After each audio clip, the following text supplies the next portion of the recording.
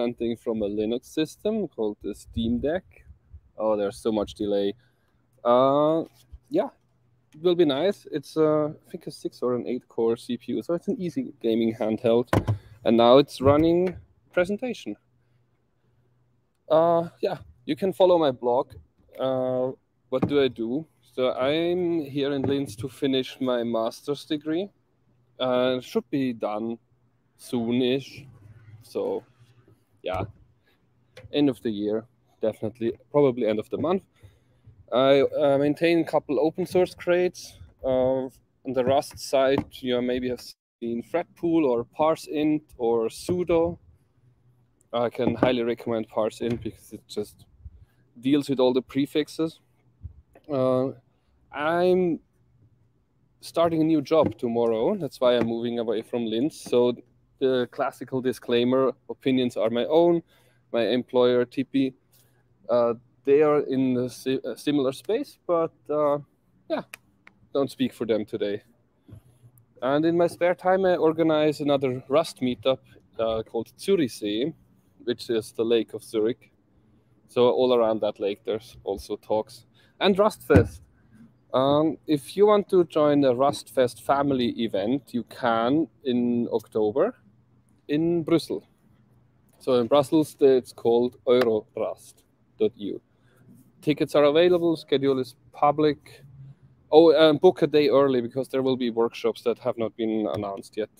They have been announced. Oh, ah, cool. Yeah. So they have been announced. Wonderful. Uh, let's go to the table uh, table of contents or not because I don't think you can read it. And for the people in the stream, you will just get what you get. So let's not waste any time. So continuous integration, CI. It's basically a thing to execute code on another machine. That's why I highlighted it here. It's a remote code execution very important. If you give access to uh, someone with your uh, to your CI, your CI will just run with the same privileges all over again. And like we had with the Lambda cache attacks, where someone figured out that slash TMP is uh, read writable for all the Lambda functions, and you can read stuff from other customers. Same is true for continuous integration if it's not set up properly. Uh, and what does that mean that's set up properly? Well, Docker still runs as root by default, and the default installation is in a Docker container. So your continuous integration job runs as root alongside everybody else. That's why there is Podman, which I can recommend. So you set Podman up and then do the mapping properly, and then it's not root anymore. It's just a user. And of course, you can use uh, Kubernetes, K3S, for instance, and then configure that as the runtime or executor. But I will go over that as well. Uh, why is it so very, very handy? Because it's bundled with the repository. If I have 15 different versions or branches, or on pull requests and merge requests and all of the things, and small things change, it will always build with the same code, even if I change the CI infrastructure itself. So that's very, very nice. And then we need some advanced features, right? Like we need specific environment variables. We need to have secrets for deployment or for pulling down proprietary data sets.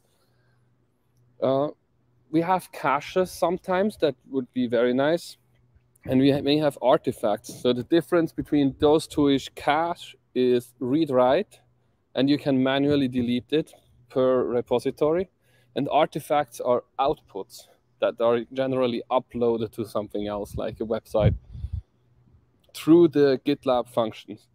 Uh, there's similar stuff on GitHub, but it's called slightly different.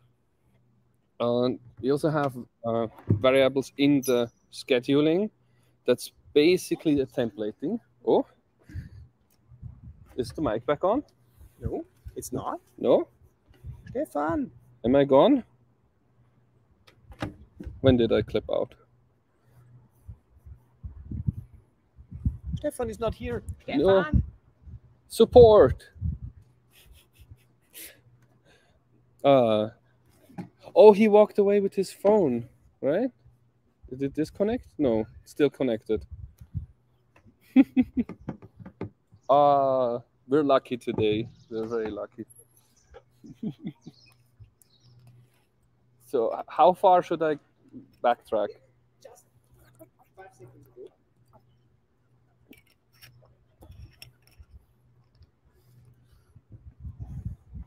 Can't wait for a third device.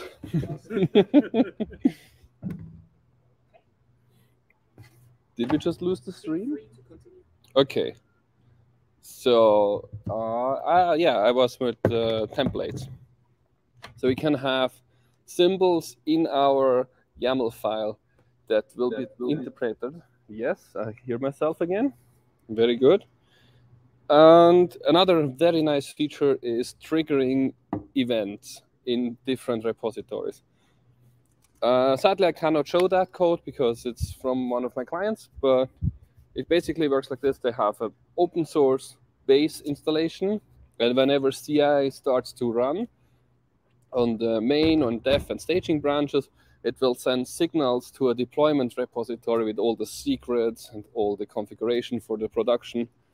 And that part is very private. So it will just forward a signal, and you can see in the open source version uh, if all your tests work, and then in the closed source part is the deployment that it actually deployed to the machine or not. Now, how do we think about stuff? So we have one GitLab CI.yaml file, which is called a pipeline. This is one thing that runs through. Inside that pipeline, we can have stages that are just blocks, and we define the stages in order, and they run in that order. But because that's too easy, there's also another mechanism called depends on. So we have a full dependency graph, which of course we can build loops, and then it will crash or just hang. So uh, they have these two mechanisms. I personally liked the stages because they're easy, but the graph is also very nice because it draws you a nice picture and it auto hides stuff. And it's very similar to GitHub's matrix, where you can tell, make me a matrix over processor, architecture, and operating system. And then it just wants 16 jobs at once for all the combinations or more. Another thing is we have per GitLab instance. So the web UI that stores the code, we have shared runners and non-shared runners. And if you have code on the public gitlab.com instance, I would recommend just add your own runner to projects that compile often or take long because they reduce the amount of free time you have on the system. And yeah, if you don't want to be surprised, if you're close to this limit, it used to be 2000 minutes per month. I think it's less now. Just add your own system, let your system run all the, the jobs, and there will be no more surprises. Fun fact if you have a workstation, uh, you can just run it in a virtual machine on your local machine or in a Docker container on a local machine. If you're the only one that's linked to that runner, you trust yourself, hopefully. right? Then you can just have it running on the background. Could even be on a laptop. And with some smart trickery, you could set it up in a fashion that the runner would not run when it's unplugged from the power, for instance.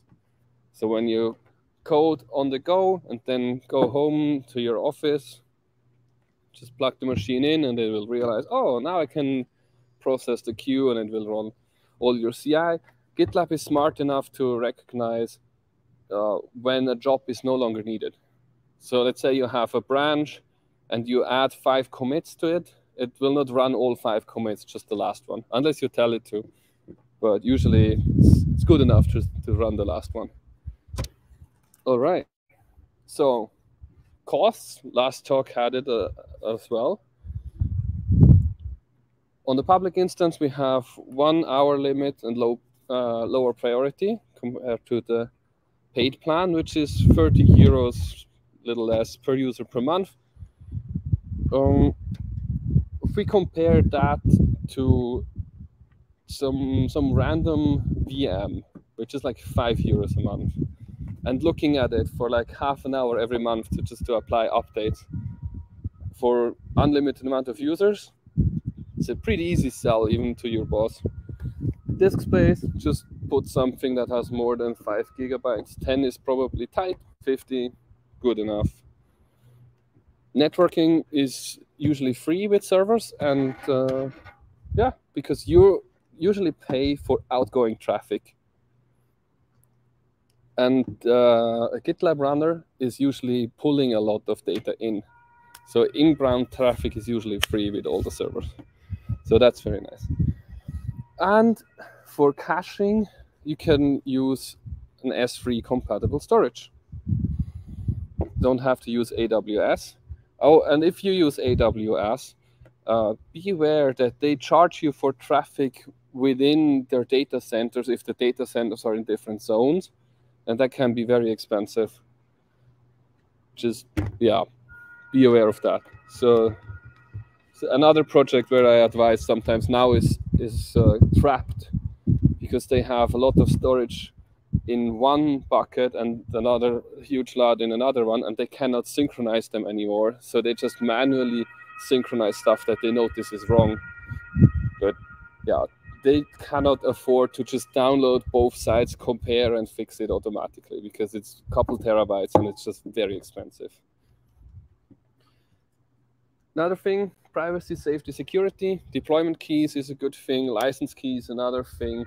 Uh, sometimes you're not even allowed to run certain software on certain CPUs. So if you, for instance, have a, I don't know, Adobe license that is for 16 cores, and the shared cloud spawns you on a 64 or 96 core machines, you suddenly breach of license would be really hard to blame you for that, but kind of, eh, just put some old box in, in the corner and let that run it yeah, doing stuff local, self-hosting, yay. So here we see uh, typical flow from the runner's perspective, and it's all HTTP. Who, who remembers long polling? Oh, a couple. So for the young ones, this is before WebSockets was a thing. Yeah. So, and sadly, it still works. still needed. Uh, yeah, so long polling uses the TCP timeout, which is still 30 seconds. So it waits 25 seconds, and if there's no data, the server will reply with no data, and then the client will poll again. And do that over and over until there is data, and there is a chance that instead of waiting 30 seconds for the, event that happens on the server side, we wait 10 seconds and then we're 20 seconds faster. It's still slower than WebSockets because we have to reconnect all the time, but yeah, that's the thing. Uh, the right side, the far right side is the executor. That's communication that depends on the plugin. And what plugins are these? Yeah, it's usually Docker. Let's be honest. Most people run it uh, as a Docker container or have it as a systemd service, which I personally find very handy because with systemd we can restrict the service a little more without touching the service itself. So we can, for instance, say private temp. So the service no longer sees slash TMP from the system, but it's locked away in some random directory that will change every restart. The service won't see it. You can also restrict uh, the capabilities. Although, to be fair, it doesn't make much sense because most of the capabilities like reading, writing, and network connections are needed, and that's usually the dangerous stuff. Oh. Yes, someone moved an umbrella. So, if we add this, we can also make an Ansible role. Probably can't read it. Don't worry. So it's it's installing an GPG key and then adds app. Let me scroll down. Then enables the systemd service. And then whoop, we add the repository as well. you see this is uh, distribution dependent. So when you are on testing, for instance, like Debian testing, or the, I don't remember what the Ubuntu bleeding edge is called, there is a chance that when the testing name gets announced, your updates will fail for a couple of weeks until uh, GitLab itself has a new folder. So you can also hard code the distribution release or override it. Ansible is highly customizable, sometimes a little bit too much, and you can override almost anything. So the executors. So the first two, SSH and shell, are the most dangerous, basically because it is what it is. It just opens a shell either remotely or locally and just executes whatever's in this YAML file. And that one is not contained at all. So no matter what branch, it will just execute the code. Um, you shouldn't use that unless you have 100% control and don't accept any untrusted merge requests at all. Another one is Parallels or VirtualBox, where you spawn a virtual machine there used to be one for KVM, but it was discontinued, sadly. There was also one for Xen, also discontinued. There is the Docker one. And if you just symlink the Docker binary to Podman, you don't have to worry about anything because Podman is API compatible. And there's a Docker machine plugin, which is the same as Docker, but just starts a VM first. That one is really handy, but it's experimental, sadly. And yeah. And of course, we have the Kubernetes one. And Kubernetes is great because you already have namespaces and whatnot. And yeah, the only downside is we have to run Kubernetes somewhere and have all the ingress and auto, blah, blah, blah. So for small installation, Docker is probably fine. Yes. So let's look at some code. This is from the sudo project. The sudo is one crate, one library, nothing fancy. Can you read it in the sunlight? Okay, nice. Uh, image is a Docker image. And when uh, Docker Hub announced that they would charge for stuff and just throw everything over whatever, I was a little worried because I would have to update all these image paths like everywhere. They reversed the decision, luckily, because yeah, was very, very stupid idea. And then, yeah, you use the image. Uh, the image on the top level is the image for all the jobs. We can override per job as well. And then we have uh, the test stage, which is the first part, this here, and then some name. This syntax has been deprecated, so now it will just reinterpret it as test colon cargo well, it works. It's just one stage. That's all it is. I recommend outputting the compiler versions, no matter what language. And if you use Node, just say Node dash dash version or Java or whatever. Just print it. It will be logged, and then you have a much easier time figuring out why some feature is broken or it gives you random errors or invalid syntax. to check if the version is correct. Then we run a test. That's yeah what it is. This one is in debug mode. And then uh, last but not least, we test all the example code because this repository uh, basically has a lot of example code because it cannot test it otherwise.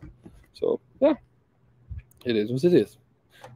If you have questions, just like shout. I will skim the stream now. No uh, yeah, just some ad for Hetzner. I don't like Hetzner personally.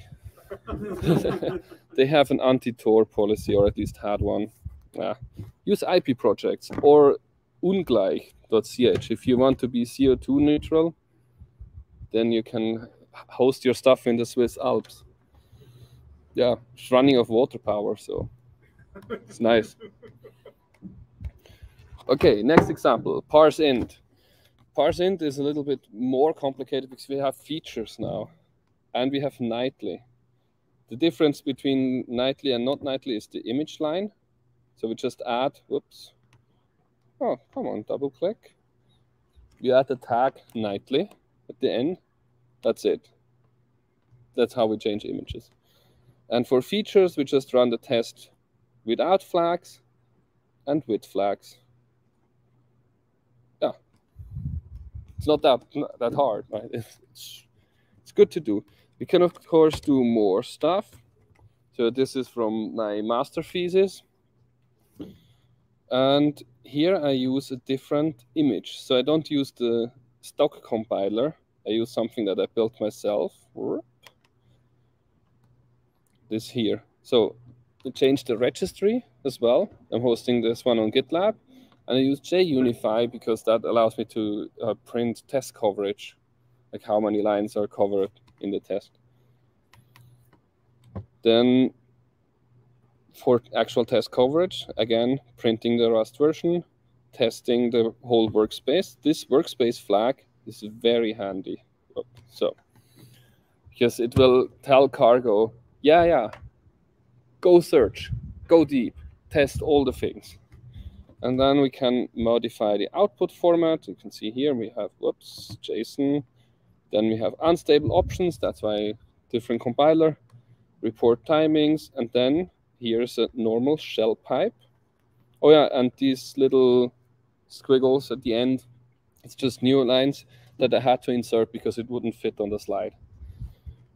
And then we calculate coverage by just running a normal build and then have LLVM coverage do the actual coverage reporting. But yeah, we need to have the tests running first because LLVM coverage will uh, fail weirdly if the Rust code is somehow unsustainable. Like if you have syntax errors just in the tests, it will compile under normal circumstances, but then the coverage will fail because there's an error in the test. So we need to run the test first and then build again. But hey, the CI does it. We will never forget it, and it will just work. And remember the artifact? This is an artifact. So the output of the artifact is uh, some XML. And sadly, the latest version of GitLab broke this a little bit. I haven't fixed it yet. But you could just tell it, here's the report template for JUnit, which is a Java testing framework. Ah, XML is XML.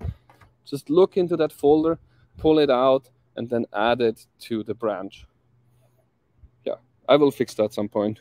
There's other formats uh, don't remember. I think four or five different coverage formats are supported. Hmm? Maybe I don't remember. Yeah, but you can find it in the docs which ones are supported. Now, uh, another example is Colorblinder. It's, it's a tool I wrote a couple years ago to simulate color blindness and different kinds. And then it will output a picture or a bunch of pictures or a combined picture, whatever you like. And for the pure Rust version, it's fine, just like sudo. But for the UI, for the GTK version, we need some dependencies. And now we have this before script. And this one will get run before every job. And I use that to set up the environment. It's Debian based, which is very nice. So we'll just tell update, upgrade, and then install. And then this is very handy. Install no recommends. So we don't get extra stuff we don't need. Just gives the smallest footprint, and smallest footprint means faster download times, faster runtime for the container. And then we install the libraries we need, like Pango and GTK3. Should update that to GTK4 at some point. And then we just run our normal script, just cargo test workspace. There you go. And it just runs through. And of course, we can play with stuff. So one of the additional features is deployment. And yeah, I have heard of Pages probably. You know, GitHub has it, GitLab has it. It's a static site hosting service that's integrated into the hosting platforms. And the plugin is called Pages. So we just have to call the job Pages and put it in a stage deploy. And then whatever we copy into this public folder will get transferred out. Or we have to mark it as an artifact. And the plugin will then just look for this public folder in the artifacts and then put that onto their web server. Uh, it used to have some bugs. For instance, when uh, you would trash the web service, it would just be empty. And then you had to rerun all the jobs. But that's pretty easy. You just go into the latest one, and then there's a little icon, just press it, and it runs the job again. And the nice thing is, it will run it at the same commit with the same environment. It will be very much the same. Unless we pull something from the outside, like time or downloads, will output the same result in the end. Oh, um, before I forget, this only is a list of branches where we say we upload the artifact only on the main branch or the release branch. I used to do some magic with regex and searching for a git tag and whatnot because it also runs it on git tags. But it's hard and the syntax changed and this is way more reliable. And then we just have to protect the main branch and then push to main branch only with merge requests and then we have release management as well. So how do we deploy? Stage zero is setting up some sort of trust, right? And SSH is really great for that because we can have verification in two ways. So we have one token, it's the SSH deploy token. This is basically a private key, which we can generate on our machine with SSH keygen. And the output of that will be the value. It's just a one-liner and it will be saved in. The other side is the server. Right? We don't have, uh, uh, how is it called? The X509, the TLS trust chain, right? So we don't have that. We don't have a trust anchor with SSH. So we just ship it ourselves. We just record the known host files, put it into the environment, save. And then uh, we are ready we have another script. Again, just set it up. We install rsync, we install SSH, we create the folder, we uh, place them in there. This is an old script because in the beginning you could only have environment variables. Nowadays you can have files, but it's a little tricky if the folder doesn't exist. So I still keep it that way. Then we change the, the access permissions. Then we have some make deploy.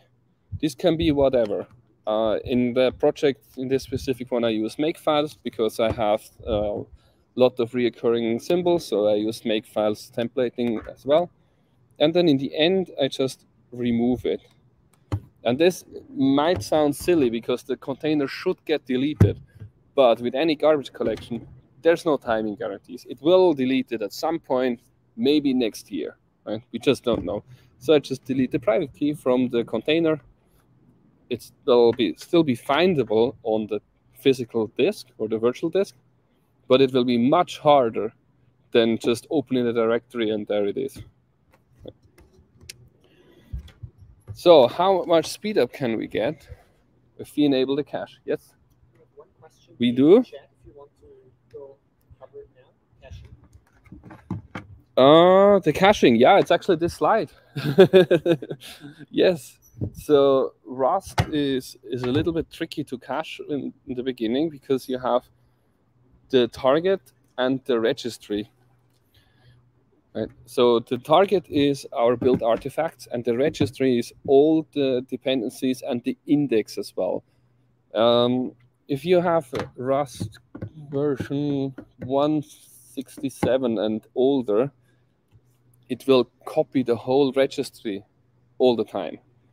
And that one, I don't know how big it is, but it's a couple hundred megabytes. So it will just download the index all the time and then all the dependencies also, which is great for your stats on uh, crates.io, but it's really slow.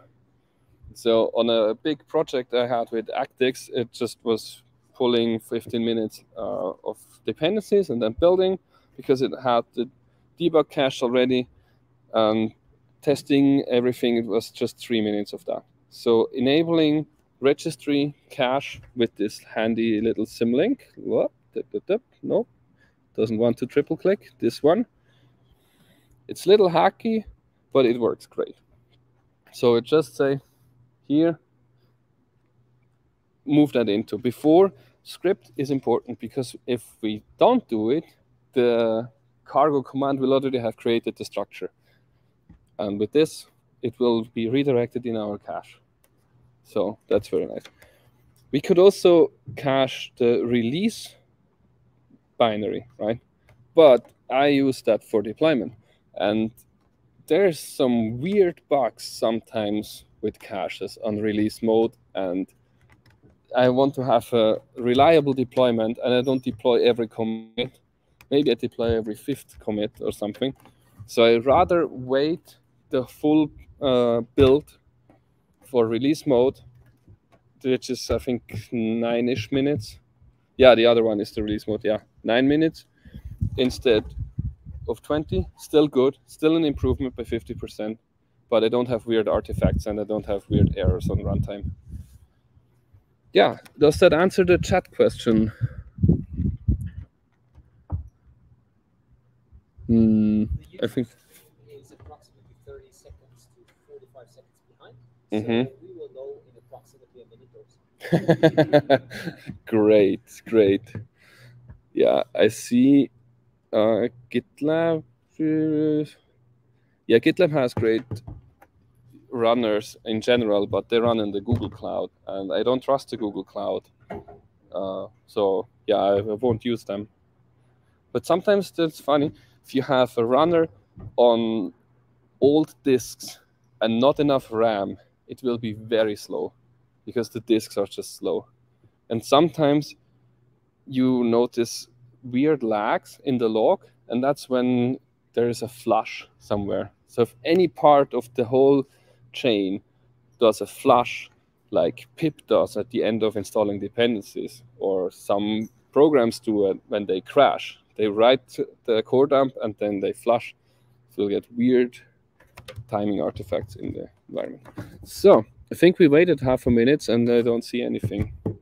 But yeah. Moving on. So an S3 cache bucket. Uh, GitLab has a very good retention policy for artifacts. It's just 30 days and the latest one. So we don't have to worry about that unless we deploy to production like 50 times an hour. It just works, right? Give it a little breathing room and it will clean up after itself. For the cache, it's not so clear, but it's a cache. So as long as the transfers are complete, right? So what I mean is when, when the client starts pulling a cache file, as long as the client receives the cache file fully, it will be fine if we delete it right after. Because the client will, uh, client means runners, the runners will just search according to a scheme on this S3 bucket, is there a cache for this repository, for this job?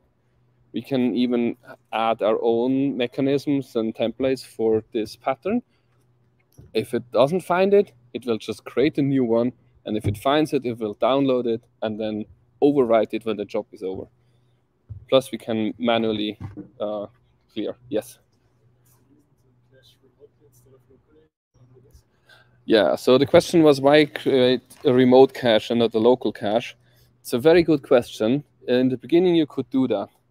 So I had a folder slash cache, and I would just throw everything into that one. I don't know why. It's probably to do with the Kubernetes support, but I don't know. I'm also a little sad because now I would have to run another service just for the cache, which seems silly. So yeah, currently I'm not caching for most of my stuff. It's just the stuff that's already public uh, open source code anyways that uses the cache and everything else just takes longer. yes, another question. Yes? And uh, the pipeline for the test runs around seven, eight, nine minutes. Mm-hmm. And I tried to enable caching uh, and the yeah um, backing up the cache at the end and redeploying it to the runner eats up all the um, speed improvements. yeah, so someone from the audience had uh, their own experience with caching, and apparently, caching all the things took longer than the game was with the cache. Yeah, uh, sad, but yeah. was NTFS involved with any of that? Okay, yeah. yeah, uh, if you run NTFS and lots of small files, you will be sad. So uh, Microsoft's latest recommendation is use their new file system, the ReFS, in a second partition because you cannot boot from that currently. It's supported in Windows 10 with the latest service pack. I mean, what's it called now? It's not service pack. Ah, yeah, and Windows 11 supports it too, and the server as well, the latest one. Okay, so of course not the home edition. We're just talking to professionals. I mean, where would you be if the education edition was still the same feature set as the Pro, right? It is not. yeah, I don't know. Maybe they changed that back, but we'll see. If we run Linux, then uh, very popular Minio uh, it's just one binary. Just download it, uh, configure it. Please set a password if you do it. Like, don't be like the CIA that loses uh, lots of spy data over an S3 bucket, or the TSA which uses the no-fly list over an S3 bucket. Uh, yeah, and so many others. Yeah, please set the password. We don't need another FTP leak. Oh, it doesn't scroll sad. Okay. Um, we can influence the cache, by the way, in the steps in our repository. So we can say for the deployment cache, we use a different pattern than for the testing path. Right? So we can prefix stuff if we want to.